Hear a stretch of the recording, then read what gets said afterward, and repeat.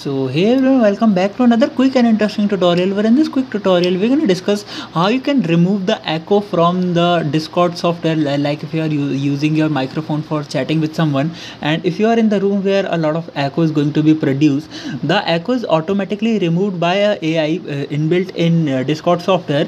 For this process either you need a discord software on your PC Windows PC or uh, iOS PC or or you need a mobile application of iOS or Android. You you're not going to be having this option uh, available on the chrome version or you can say the web version. So you need uh, the software. For example if i open the discord software on my windows pc now you're going to see this is the home page. You all have been familiar with this. Now to remove the echo first of all you need to go to the option of settings. You're going to find the settings on the left bottom corner.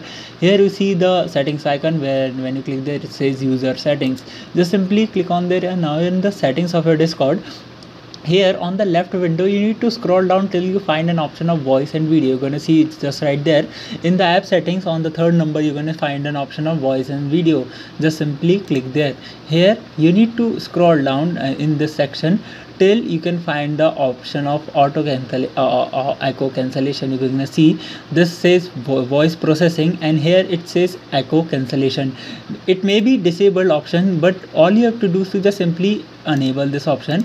And now if the voice is gonna uh, echo on the discord the that going to be fixed by this uh, by this uh, ai video voice processing or inbuilt in discord and all the echo from the audio has going to be removed very easily. So by this method you're going to remove echo from your discord voice. I hope this video will be helpful for you. Make sure to hit the like button and subscribe button for having such more helpful and interesting tutorials. See you in the next one. Take care